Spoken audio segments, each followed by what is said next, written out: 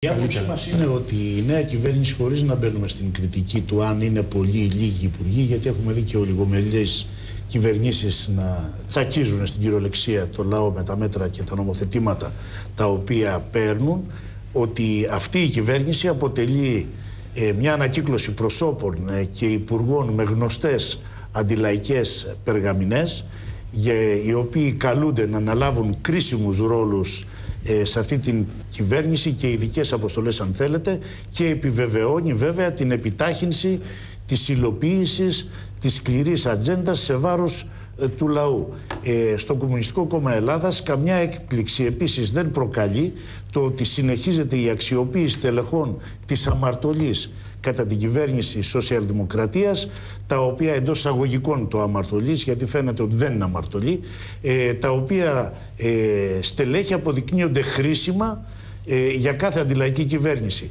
Το σίγουρο λοιπόν είναι πως και η νέα κυβέρνηση έχει όλα τα προσόντα για να αναδειχθεί χειρότερη από όλες τις ε, προηγούμενες κυβερνήσεις. Και από αυτό αν θέλετε πηγάζει και η θέση του Κομμουνιστικού Κόμματος ότι καμιά αναμονή, καμιά ανοχή δεν πρέπει να δείξει ο λαός μας στην κυβέρνηση της Νέας Δημοκρατίας και ότι από την πρώτη μέρα που θα αρχίσει την κυβέρνηση πρέπει να συνεχίσει τους αγώνες για να διεκδικήσει πραγματικά λύσεις στα πραγματικά του ε, προβλήματα. Ε, εσείς, πάντως η αλήθεια είναι πως και προεκλογικά το είχατε πει αυτό, επειδή είχατε πει ότι για μας τα τρία κόμματα είναι πάνω κάτω τα ίδια, οπότε όποιος και να είναι εμείς θα είμαστε στον δρόμο. Οπότε αυτό που μας λέτε τώρα δεν είναι, είναι ακριβώς αυτό το οποίο έλεγε το ΚΚΕ και προεκλογικά. Είναι. Να ακούσω την άποψη του κ. Πάνσας, γιατί είχε διαφωνήσει με την τροπολογία για τη Χρυσή Αυγή.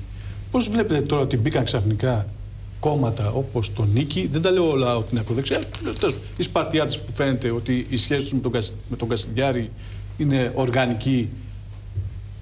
Πώς το κρίνετε αυτό; Η Νίκη και η Ελληνική Λύση είναι κόμμα της άκρας δεξιάς. Απλώς οι άλλοι ναι. έχουν καύσιμα να ζει. Αυτό είναι. Έτσι. Ναι, ναι, αυτό, αυτό είναι. Ναι, ναι, ναι, ναι. ναι. Το ήμουν το είπαν. Ότι έχουν κάψει ε, Δεν διαφωνήσαμε εμείς με την Χρυσή Αυγή σε κανένα επίπεδο. Η κριτική δική μας ήταν και στα νομοθετήματα της κυβέρνησης ότι η σύγχυση, ή αν θέλετε και η πρόβλεψη. Για την τροπολογία, ναι. Για την τροπολογία, συγγνώμη, ναι, για την τροπολογία. Ε, η, η, η, η, η άποψη η οποία απεικονίζονταν μέσα σε αυτή την τροπολογία των δύο άκρων ήταν πραγματικά, εμείς το είπαμε τότε στη Βουλή, το επισημάναμε, ότι είναι πολύ επικίνδυνη γιατί αφήνει να πλανάται και η ενοχοποίηση και του Κομμουνιστικού Κόμματος Ελλάδος και του κινήματος γενικότερα του λαϊκού.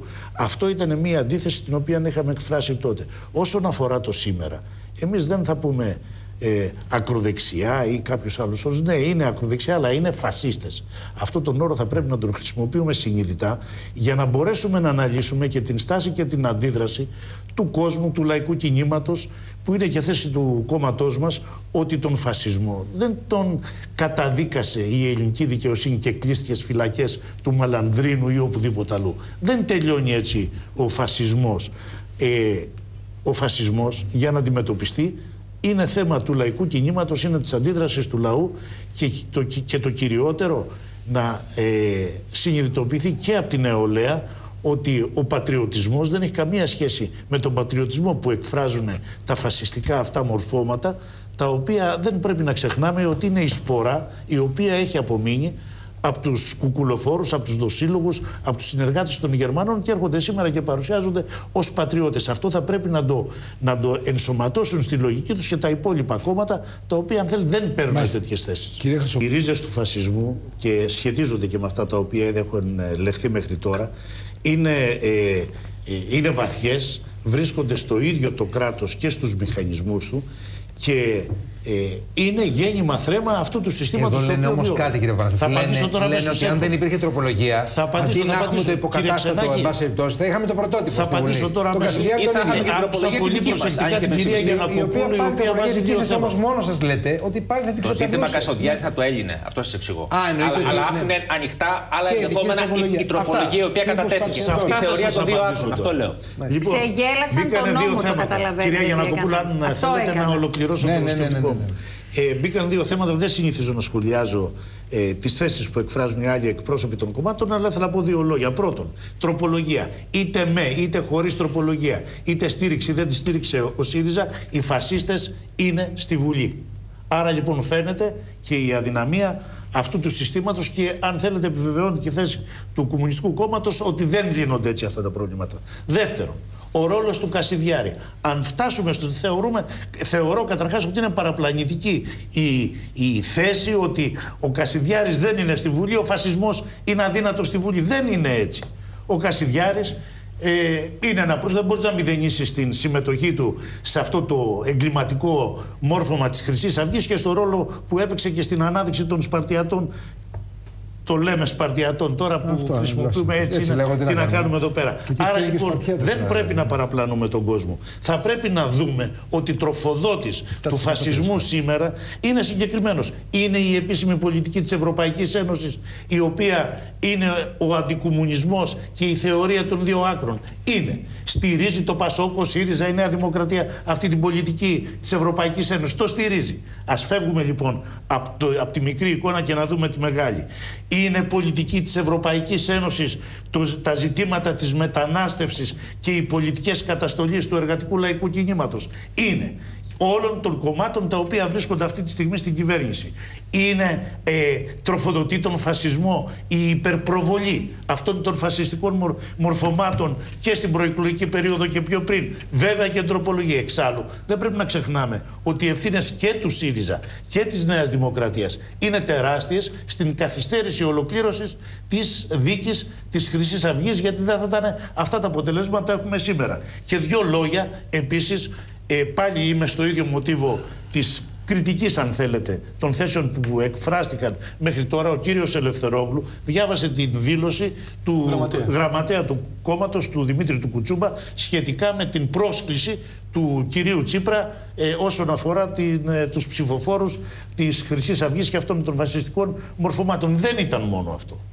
Θα πρέπει ο ΣΥΡΙΖΑ να δει γιατί αντικειμενικά στο, σε αυτό το κόμμα, το αριστερό εντός αγωγικών λέμε εμείς, το λέει το Κομμουνιστικό Κόμμα και ε, ο ΣΥΡΙΖΑ έχει τη δική του άποψη, συμμετέχουν και αγνοί αριστεροί πραγματικά άνθρωποι, τους οποίους προσέβαλε βάναυσα η επιλογή του Μαρατζίδη στα όργανα της εκλογικής εκστρατείας του ΣΥΡΙΖΑ. Είναι, δεν είναι έτσι. Και ποιος είναι ο Μαρατζίδης; Ο Μαρατζίδης είναι ο θεωρητικός του ξεπλήματος του προδοτικού ρόλου των ταγμάτων ασφαλείας, των κουκουλοφόρων και των συνεργατών των Γερμανών. Αυτός ο άνθρωπος βρέθηκε μέσα στα εκλογικά επιτελεία του ΣΥΡΙΖΑ. Είναι αυτό τροφοδοσία σε, αυτό, σε αυτή την περιραίουσα ατμόσφαιρα, η οποία ξεπλένει τον φασισμό, τον αναδεικνύει και τον βάζει και μέσα στη Βουλή. Είναι. Δυστυχώς αυτή, είναι, αυτή είναι η πραγματικότητα. Είτε μας αρέσει, είτε δεν μας αρέσει.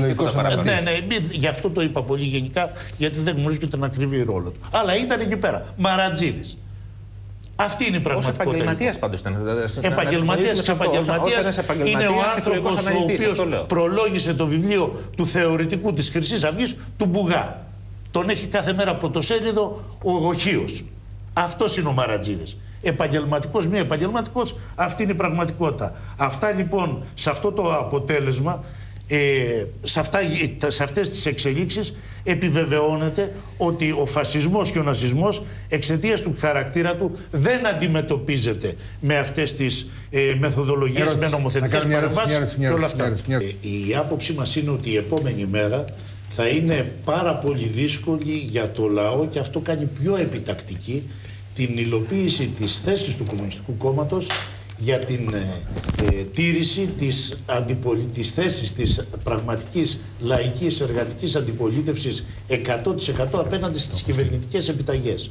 Ο λαός μας από αύριο θα βρεθεί απέναντι σε ε, συγκεκριμένα προβλήματα τα οποία ας ξεκινήσουμε πρώτα από την υλοποίηση των προαπαιτούμενων των 350 προαπαιτούμενων των, ε, και των μνημονιακών ε, ε, ζητημάτων τα οποία ε, σχετίζονται με το Ταμείο Ανάκαμψης και με το ε, Σύμφωνο Σταθερότητας. Αυτό είναι κάτι που είναι αντικειμενικό. Θα κληθεί ο λαός να πάρει, να φορτωθεί στην πλάτη του την αποπληρωμή των δόσεων των 33 δισεκατομμυρίων για 35 ολόκληρα χρόνια και δεν το λέει κανένα κόμμα αυτό. Γιατί το Ταμείο Ανάκαμψης, αυτά τα ποσά είναι, ε, αν θέλετε, είναι αποδεκτά από όλα τα κόμματα ε, που υπάρχουν αυτή τη στιγμή στη Βουλή.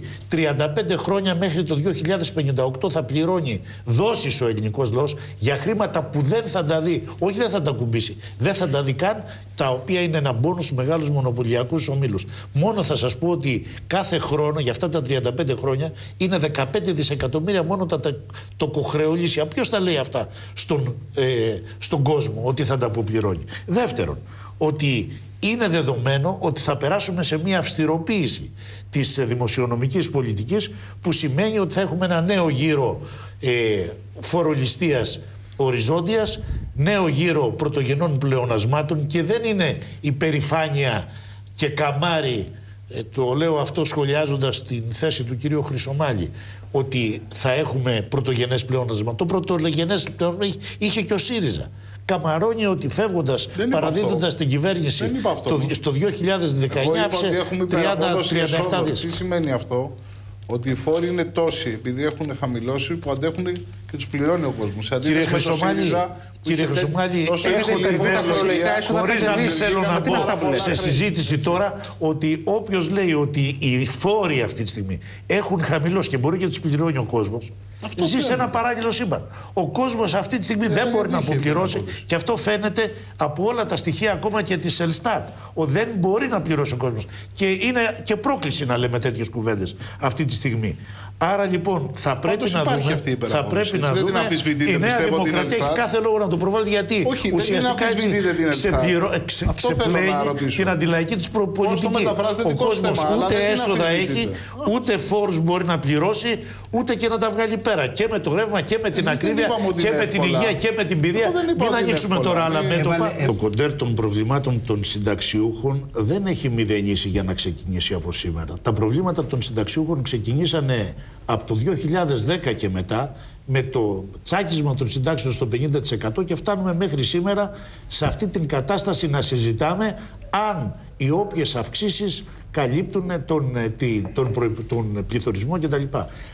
Ποιον πληθωρισμό όταν είναι δεδομένο ότι οι συντάξεις σήμερα δεν επαρκούν ούτε μέχρι τις 10 πρώτες μέρες του μήνα; Αυτή είναι η πραγματικότητα. Από εκεί και μετά το να λέμε επιδόματα και τι θα τους δώσουμε και τι ψίχουλα, πού είναι η 13η και η 14η σύνταξη; Ποιος την έκοψε, ποιος πήρε όλα αυτά τα μέτρα ε, των ε, ημερών των, των μνημονίων που γίνανε οι συντάξεις ε, Φτερό και Πούπουλο; Και όχι μόνο αυτό, και όπου οι συνταξιούχοι που αυτή τη στιγμή δεν τους ακούει και κανένας, τα συλλογικά τους όργανα, βγήκαν να διαμετρηθούν, μετρήσανε το βάρος του αστυνομικού γκλόμπ στην πλάτη τους. Επί ΣΥΡΙΖΑ έγινε αυτό. Και θα ξαναγίνει και επί Νέας Δημοκρατίας γιατί δεν υπάρχει κανένας ενδιασμός σε αυτούς τους ανθρώπους. Αυτό πρέπει να δούμε ότι οι συνταξιούχοι μέσα από την αντιλαϊκή πολιτική όλων των κυβερνήσεων που κυβέρνηση φτάνουν σήμερα να ζουν πραγματικά να χρηματοδοτούν τις οικογένειες των παιδιών τους. Και μιλάμε τώρα για ποσά και επιδόματα να μην πω της πλάκας, γιατί δεν πρέπει να απαξιώνουμε έστω και το ένα ευρώ που θα πάρουν αυτοί οι άνθρωποι, αλλά είναι ε, πρακτικές οι οποίες τους προσβάλλουν. Το Κομμουνιστικό Κόμμα Ελλάδας λοιπόν πολεμάει και θα πολεμάει και ως αντιπολίτευση από αύριο να, τα οικονομικές απολαβές των συνταξιούχων να φτάσουν στο επίπεδο που να μπορούν να τους δίνουν την οικονομική, ε, την οικονομική δυνατότητα να καλύπτουν βασικές τους ανάγκες τις καθημερινές υγείας που είναι αυξημένες αυτές τις ηλικίες και ε, φυσικά ότι άλλο... Ε,